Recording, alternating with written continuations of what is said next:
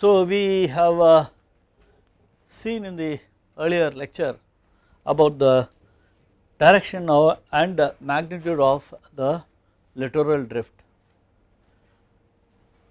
Although we say that uh, the average littoral drift along the east coast is approximately 1 million meter cube per year, there is a considerable variation.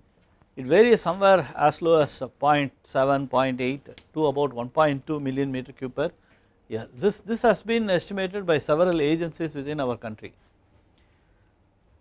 and uh, there is some kind of uh, refinements to this quantity which is uh, in progress uh, through direct measurements. But how are these uh, uh, sediment transport both the direction and this one is the quantity is estimated.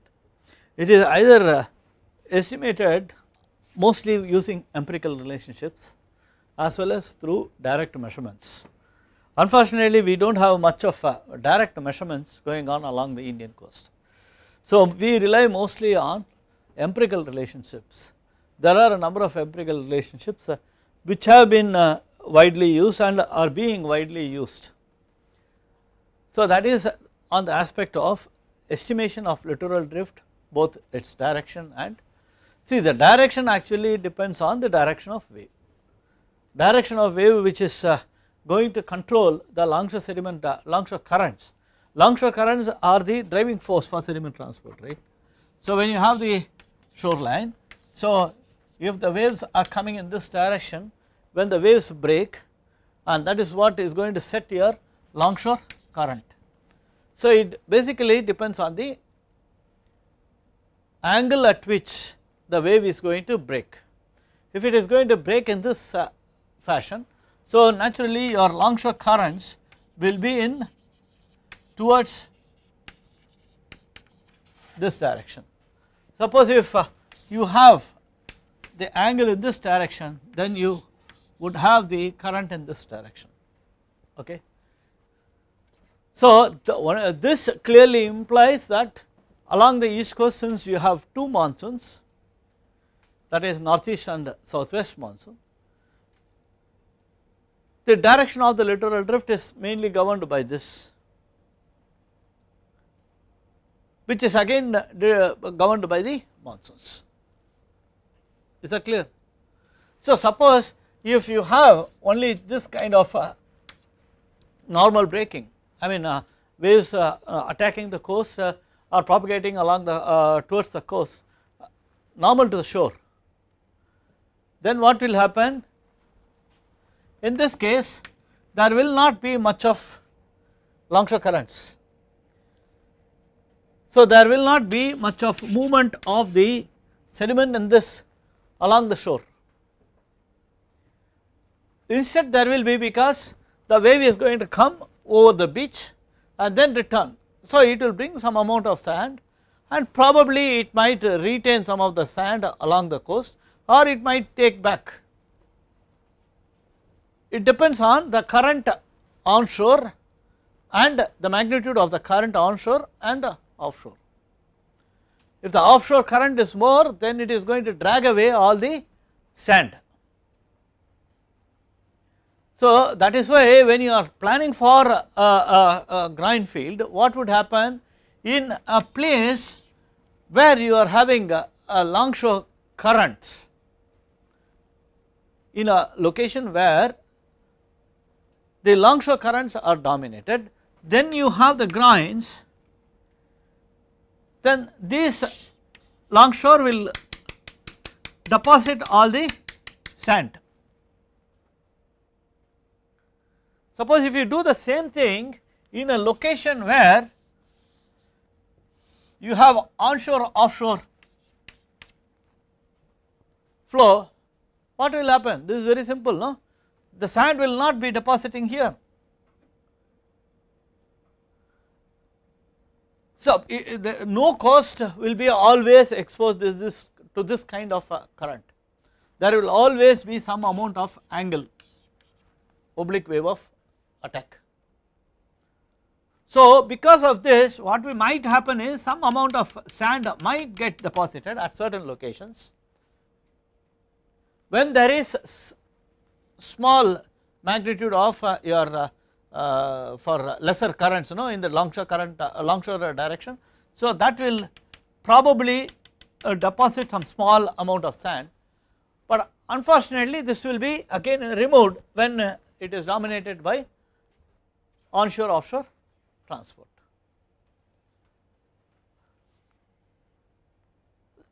So that is one of the reason why people started thinking of offshore detached breakwater and also the T groins. What will happen? This is going to allow the deposition of the sand and these horizontal members are going to retain to some extent the sand which is likely to move back to the ocean. So now how much can be retained uh, in spite uh, even uh, if you have the onshore offshore uh, uh, mode of uh, flow depends on the gap between this as well as the width of this. If it is too lesser you might land up in problems related to rip currents.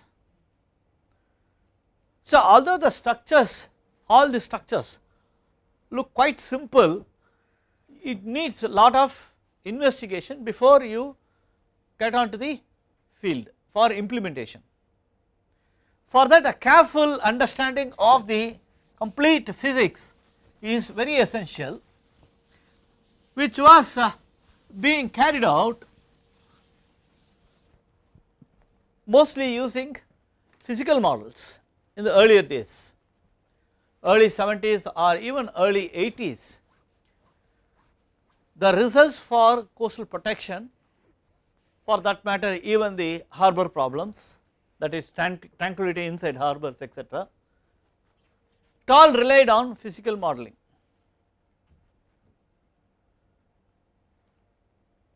And later due because of the rapid progress in the development of computing facilities, numerical model came into existence. Why numerical model, why physical model, there can be a, a debate there are certain things certain advantages with physical model. What you can achieve in physical model sometimes is difficult to achieve in numerical model. There are certain kind of facilities available in the numerical model which is not possible or not possible I would not say possible would which would be quite cumbersome in the case of physical model you understood. For example, uh, you want to test a harbor breakwater.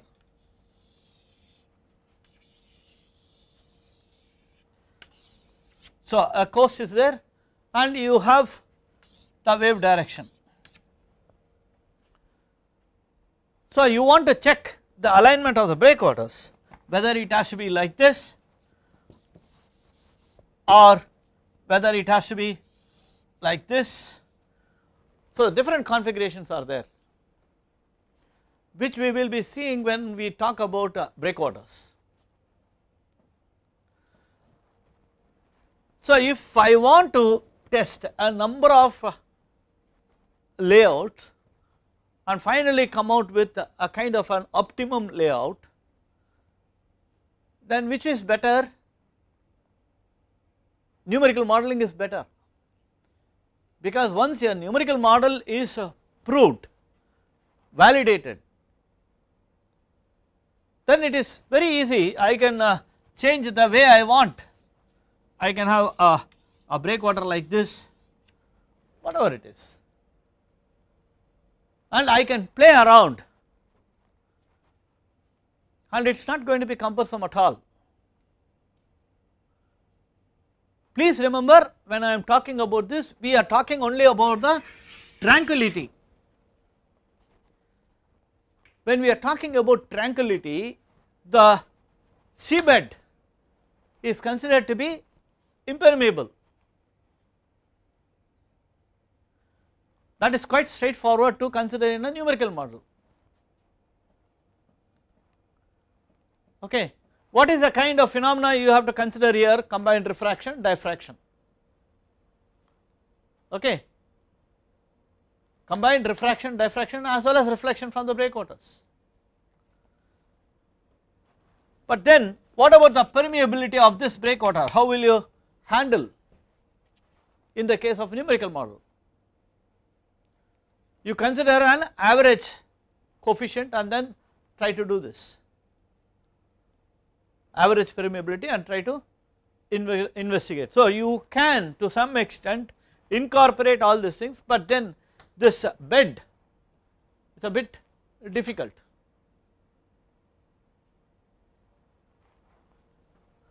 Suppose if I want to have a groin field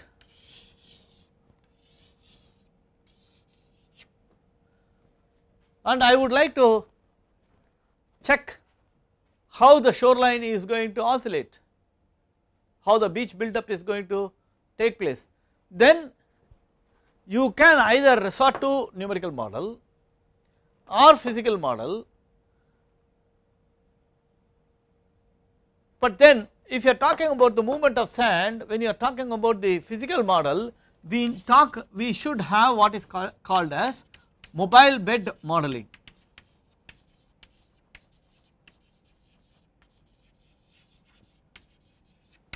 which is not so easy to implement.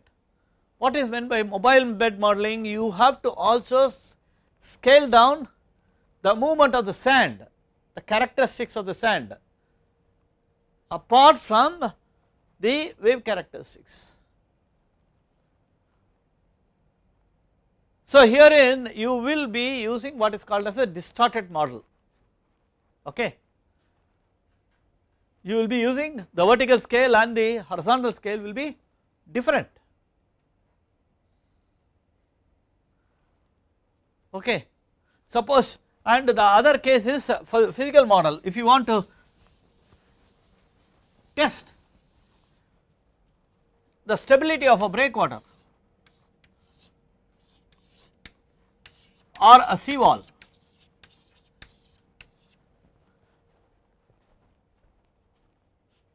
all of us know that the design of the weight of this individual arm of stone is based on significant uh, that is a different issue but this is based on it is an empirical coefficient okay.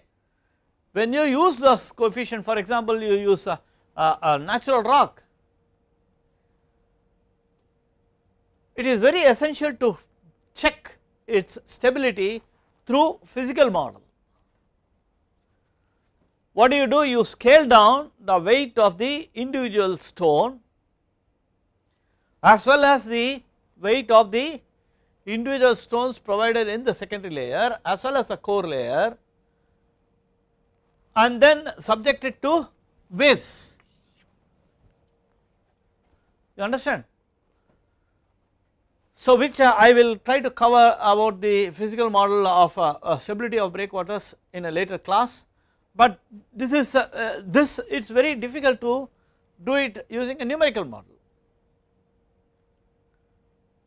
So most of the major projects they are done using numerical model, but many of them also try to verify the numerical model using physical model. Physical model is expensive, quite laborious, but certainly it gives a lot of information provided the modeling is done properly. At the same time numerical model it may sound very nice. Numerical model says okay uh, the graphics are sometimes fantastic particularly the commercial available codes. What happens when you have the commercial codes? You have to give some input, use the entire process as a black box and you get some output. So sometimes what happens junk in you get junk out.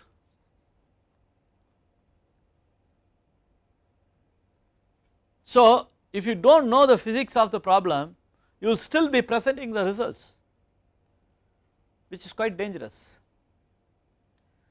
So whether it is numerical model or physical model the first step is to understand the physical phenomena of any process in this case it is coastal process okay? Any doubts?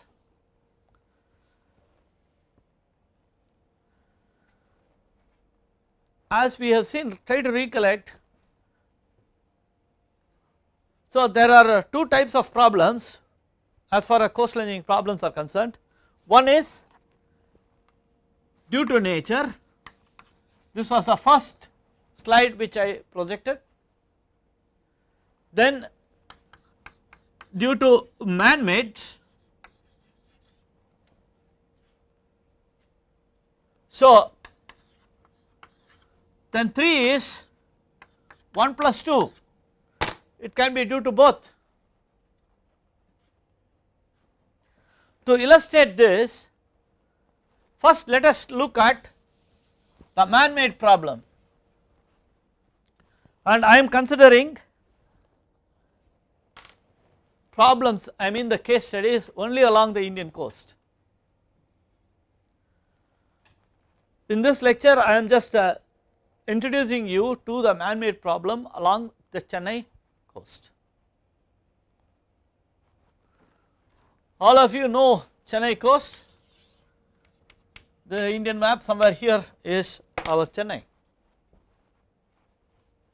formerly called as Madras. It was sometime as early as 1876 that was the first time when they started bringing in cargo mostly pertaining to getting the spices. Okay. So they had just a, a pier jetting into the ocean. And that pier itself facilitated the shoreline advancement on the north of the pier because as I said the net drift along the east coast is towards north. So earlier class there was a question why we are not touching about west coast. First let us uh, finish the east coast and then we will uh, have some few case studies along the west coast.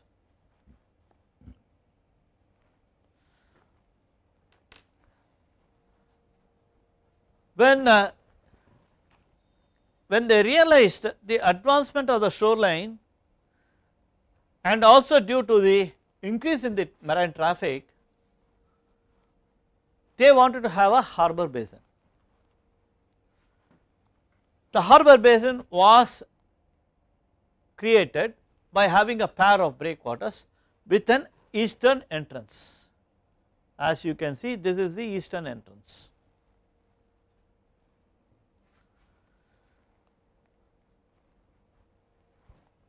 The moment they constructed this pair of breakwaters, the advancement of the shoreline was a continuous process. And then it uh, started leading to a fear that they might have problems with the choking of the approach channel because approach channel naturally has to be somewhere here. So, slow bypassing of the sediment will naturally occupy the approach channel.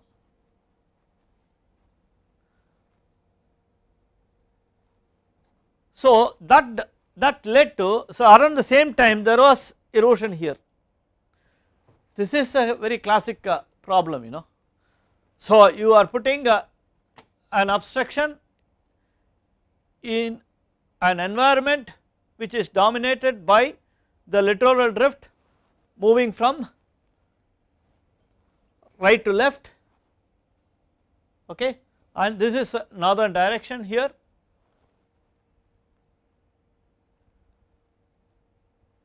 So naturally you will have the advancement of the shoreline and erosion on this side. That time the erosion was not a big problem, but the advancement of the shoreline was a huge problem. So what was done in 1920 there was an outer quay constructed and this entrance was closed. In fact, in the port if you go that still remains the two pillars which was serving as the previous entrance for the harbour. So this was closed because it was said that the sand will move like this, there may not uh, be much problem, but any port for that matter, most of the ports, after the capital dredging is done, the maintenance dredging has to be carried out. Only thing is the how periodical it has to be the maintenance dredging and how much would be the quantity of dredging it depends on the environment of course which is going to be governed by the quantity of sediment transport. So when this was uh, going but still this was the problem of the shoreline advance was not being solved.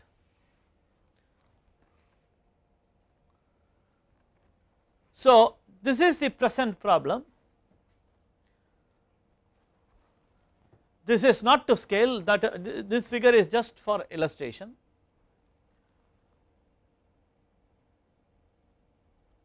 What has happened here? The Longshore sediment transport is moving in this direction. So now they extended the outer arm. I think it is uh, of the order of about uh, 1.7 kilometers or 2 kilometers nearly. And this is the inner harbor. This is the inner harbor. And this is called as the Jawahar dock. And this is the turning circle all those things. So this is actually the old harbor They also had a, a sand screen. What is the sand screen? Sand screen is something like a littoral barrier which will arrest the movement of sand. But what has happened is in spite of having this barrier the sand was sand bypasses and still there is some problem with the approach channel not, not just because of the movement of the sand from here, there is always the littoral drift taking place here, am I right? Okay.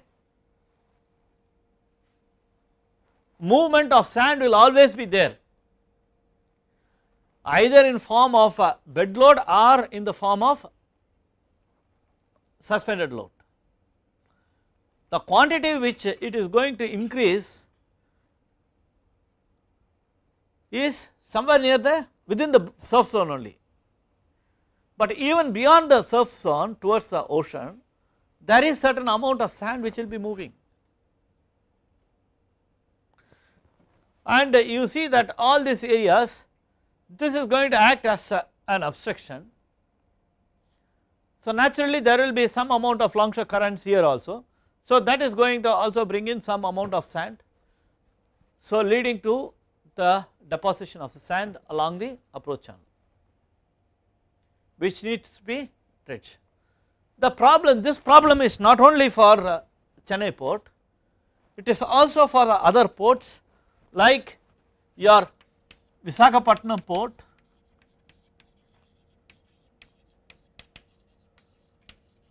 or the Paradip port along the east coast.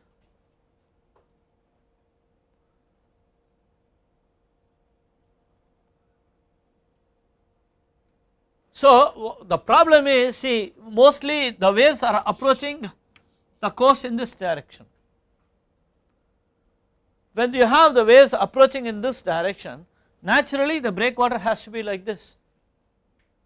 If you want to develop a harbor basin here So tranquility conditions forces us forces us to have a breakwater alignment like this. But at the same time unfortunately it gives rise to problems concerning the deposition or advancement of the shoreline on the south and on the northern side it has disadvantages due to erosion. The advancement of the shoreline has both uh, no I mean uh, the problems related to it can have the beach formation on the south of the breakwater can have both advantages and disadvantages. But on the northern side erosion is has to be a problem here. So now you see that the present configuration looks something like this and uh, because of this interception by the littoral barriers that is these are the breakwaters which the, the littoral barriers is nothing but the breakwaters you have a negative effect that is the coastal erosion directly pertaining to this problem of I mean this topic.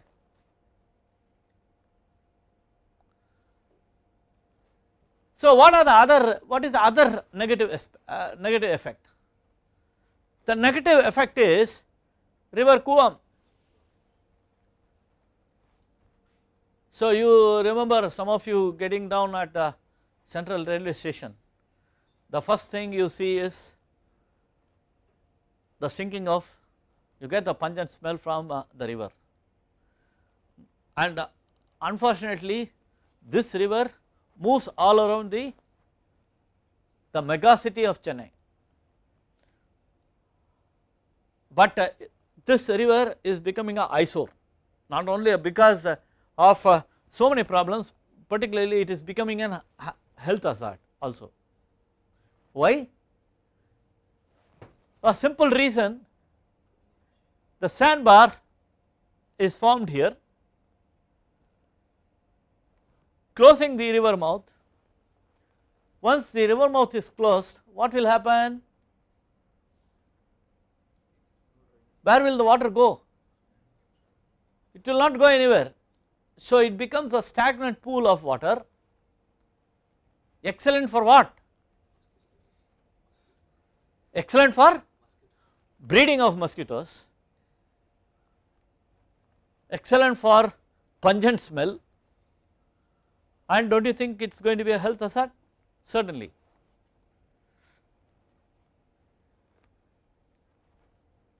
On the other side the positive this is because of the deposition of sand, but we do not need the deposition of sand near the river mouth do we? No,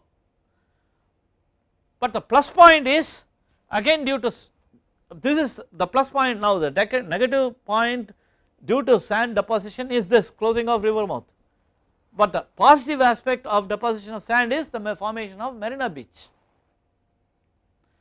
The Marina Beach is because of the littoral uh, the advancement of the shoreline south of Chennai harbour. And it is claimed to be the second longest beach in the world next to Miami beach. The width of the beach gradually increased and it is something like 600 meters now 600 to 700 meters. Have you ever gone to Marina Beach all of you? So you see the width of the beach right and you see the kind of people there particularly during this kind of uh, summer season during summer season the Marina beach is really flooded but you never knew that uh, this Marina beach is because of this.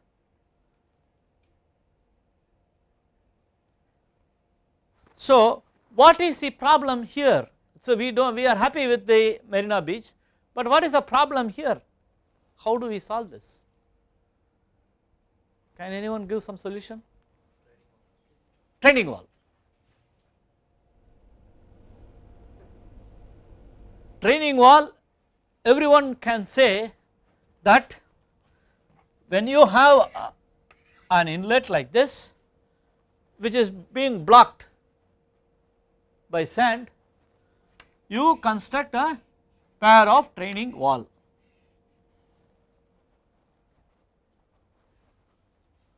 Is the solution correct? How many of you say that the solution is correct?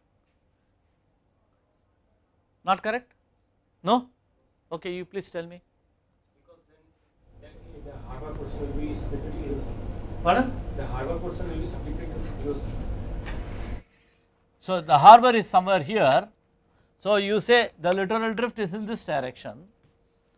So you say that if uh, as suggested by what's your name? Chaitanya. Chaitanya. So Chaitanya says he will put a pair of training wall which I feel it is correct. What is your problem? Because of this the sandbar is not allowed to be formed. Instead I have a advancement of the beach. But his concern is this is going to erode. But anyway this uh, breakwater is there no? This is a harbor breakwater now.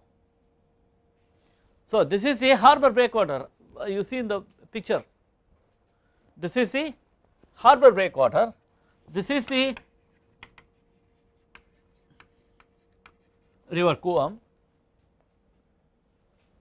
and in between uh, he says that there will be erosion can this not be tackled? There are two things, Suppo okay I agree that the pair of training walls is going to create uh, erosion. So do you mean to say that we should not construct the training wall? Yes or no? Yes, but initially you objected but when I said now uh, you are a bit submissive. Now you agree. So there is no problem. I can construct a, a parrot training walls and if at all there is going to be any erosion here which we could we have to anticipate I can have one or two uh, three or four transition groins to take care of that I already showed you some uh, uh, nice uh, pictures.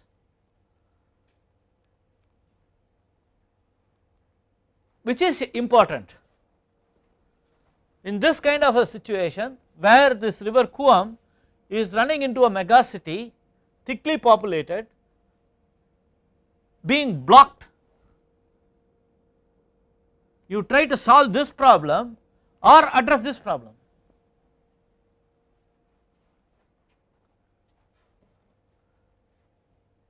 I would address this problem first. So when I address this problem I would also consider this problem and take care of it. This is what to, to some extent what is meant by integrated coastal zone management you just try to Uh, integrate all the problems and try to manage the cost. It is a small example okay is that clear. So, was this done? Was this done? This Cooum problem? I mean the solution. The solution to this was construction of a pair of training walls, but unfortunately it was implemented, but unfortunately it proved to be ineffective. For the simple reason not because of the physics, because of technical problems, technical problems in the sense when you construct the groins uh, the training walls there are very important there are certain important points you need to consider. So what I will do is I will consider this river Cooum problem after addressing the coastal erosion problem. I think that would be alright. What is this problem? Is it a natural problem or a man made problem? It is a man made problem because of the presence of the harbor breakwaters you have a and now we are dealing with all these uh, problems but here we are not directly involved but I will give my comments in the next class probably okay. So we will is that clear. Now here this problem has become more severe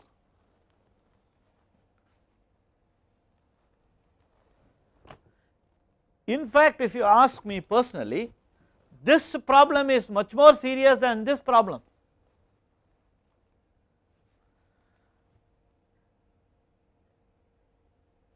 Because there are so many people living along the banks of the river.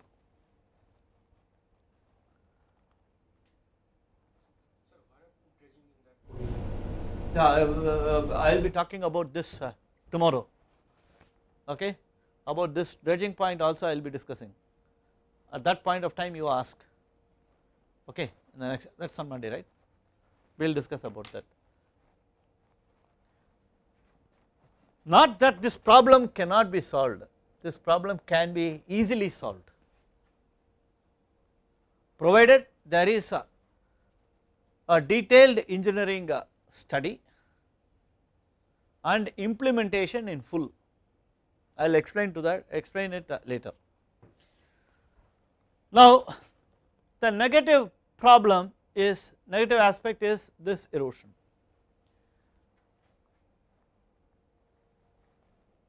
The erosion has gone over a distance of about 12 kilometers 9 to 12 kilometers and we have lost nearly 500 meters or even slightly more of width of the beach. So many buildings have gone into the ocean along the coast because of this in spite of several solutions that were being attempted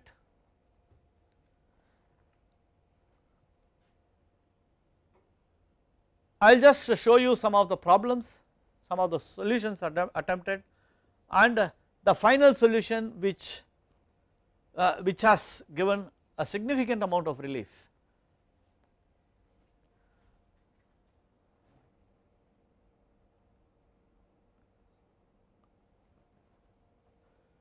So, this problem has been in existence for nearly 5 decades.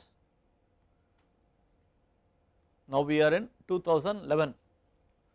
For the first uh, for the last 5 decades we had been experiencing this erosion problem. when you look at the rate of erosion along the Tamil Nadu coast, Tamil Nadu coast is this is the area somewhere here this stretch of the coast about uh, 900 kilometers there is about a small uh, stretch of the coast about uh, 50 kilometers on the west coast also this whole coast about 950 kilometers they have carried out is a vulnerable location for coastal erosion. So, Tamil Nadu coast has uh, estimated that this area which we are discussing now right now that is this area which is called as Rayapuram they are estimated to be the highest with about 6.6 meters per year getting eroded in fact that is on the lesser side. It is this is on an average 6.6 uh, meters.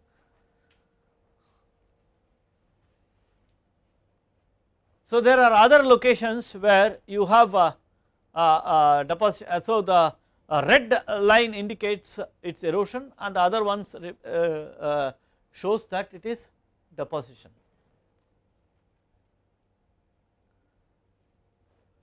So I will just uh, look at some of the other locations unfortunately I have not given you the latitude and longitude or I have presented any picture because I was not I am not interested in showing you point by point. This slide is just to illustrate that the location which we are uh, discussing today is a location which is experiencing severe erosion. So this is a typical view of the Marina Beach which we had uh, uh, discussed this is a age old uh, picture but it gives you the kind of beach and in fact uh, is much more now uh, much more wider. What was the solution that was attempted for the protection measure for the Rayapuram beach? This had a, a core wall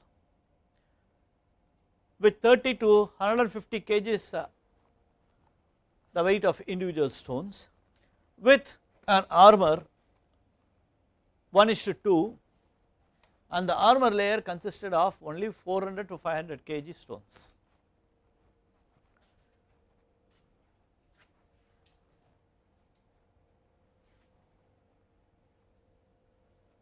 So by looking at the figure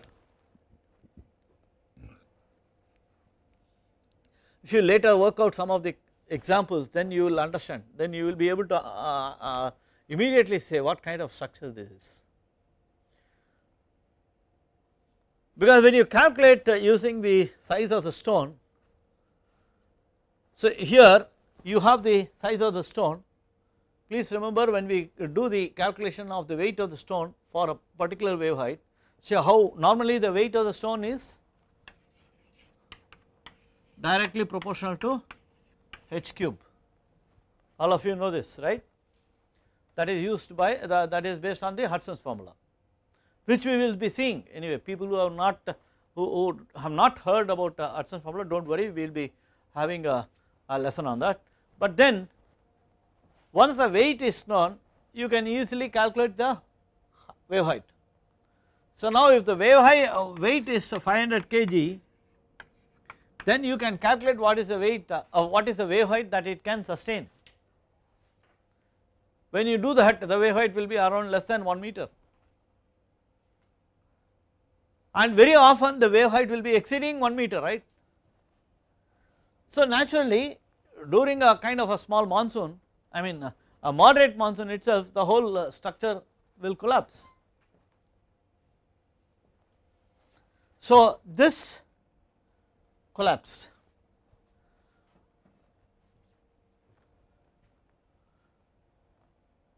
And I wanted to say that along the coast you know along the coast north of uh, harbor there is a coastal highway and that coastal highway got collapsed as you can see here. So for example I will uh,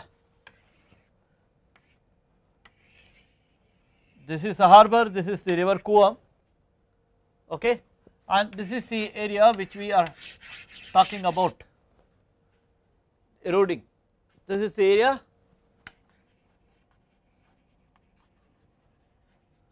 so along this course there is a road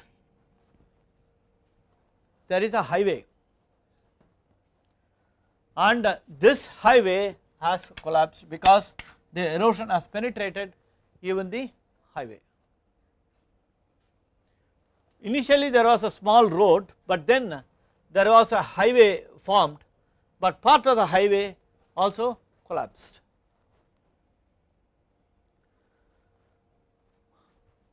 What is this solution? Around the same time there was a severe water problem for the city of Chennai or that time it was called as city of Madras and we had what is called as Veeranam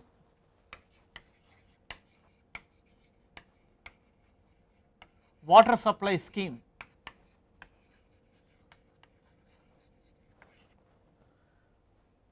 Under this scheme from the outskirts of the Chennai Veeranam lake we wanted to get the Veeranam reservoir, we wanted to get the, the idea was to transport the water through pipelines. Unfortunately, the this water supply scheme failed. for this purpose of this for the purpose of this water supply scheme there were a lot of uh, concrete pipes precast pipes already ordered and it was lying all along the coast. But when the water supply schemes failed all these pipelines were just lying along the coast and uh, for some unknown, unknown reasons it was decided that we they will use the pipes for the protection of the Rayapuram coast you understood. So what they did is they used a combination of tetrapods, tetrapods are it has 4 legs I will show you the uh, model of uh, tetrapods when I take uh, about the when I take the lecture on breakwaters. So right now you imagine that this is this has 4 legs. So the tetrapods were put here and you see that this is only 8 meters and uh, the clear distance was maintained as 1 meter alternate scatter uh, uh, I mean uh, spacing it was spaced in an alternate fashion. The pipes diameter was uh, 2 meters. And this was placed here. And in section this is a concrete pipe wherein they filled with sand capped with the concrete and then erected it as shown here. And in between they had put tetrapods. Plus they had gabions. That is small size stones are being used. So they had used gabions all of you know what is the of a. Do you think that this is a good engineering solution? You have to be bold when you are clear about uh, engineering you have to be clearly bold and say is it worth investigating or not it was already in, installed As I told you any vertical obstruction is very dangerous and there was absolutely no toes cover given.